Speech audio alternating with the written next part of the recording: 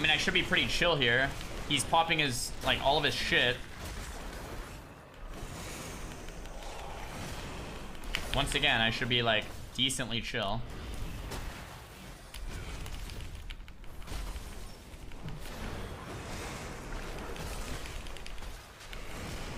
I'm not even trying to kill him. Not yet.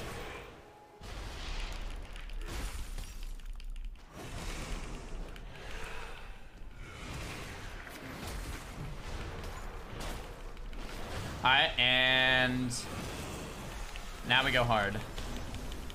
I got literally CC'd by a quest. Okay, now we go hard.